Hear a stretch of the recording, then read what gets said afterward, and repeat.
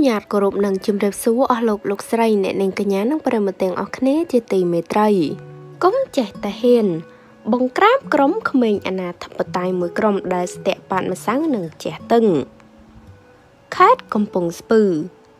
ក្រោយទទួលបានព័ត៌មានពីប្រជាពលរដ្ឋថា មានក្មេងមួយក្រុមធ្វើសកម្មភាពលេងជះទឹកប៉ាតម្សៅកាលពីវេលាម៉ោង15និង50នាទីនៅចំណុចខាងលិចភូមិ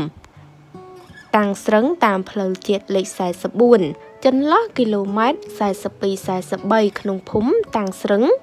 ឃុំសង្កែសាតូបស្រុកអូរ៉ាល់ខេត្តកំពង់ស្ពឺ លោកវរៈសេនីឯងបុត្រប៊ុនធឿនអធិការនគរបាលស្រុកអូរ៉ាល់ដោយបាន មានការឯកភាពបញ្ជាពីលោកឧត្តមសេនីយ៍តូ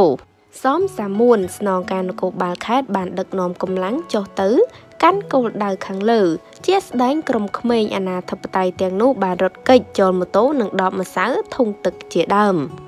បច្ចុប្បន្នសមត្ថកិច្ចនគរបាលស្រុកអូរ៉ាល់បានដឹកជញ្ជូនម៉ូតូបាន8គ្រឿង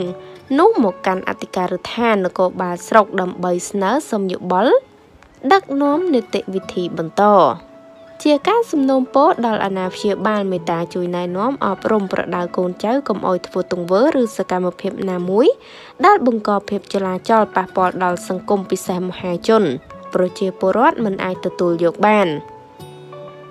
ចាគឺពិតជាផ្កើនមែនទែន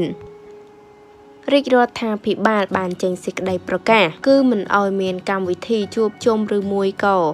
កម្មវិធីដែលប្រមូលផ្ដុំគ្នាប៉ុន្តែបែរជានៅតែប្រព្រឹត្តឥឡូវនេះសមត្ថកិច្ចបានធ្វើការចុះបង្ក្រាបរត់ចូលម៉ូតូនឹងដបម្សៅ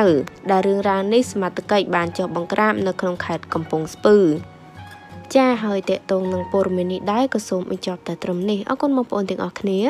សូមចុច Subscribe និងរូបកណ្ដឹងដើម្បីទទួលបានព័ត៌មានថ្មីៗជាបន្តទៀតសូមអរគុណសូមគោរពលា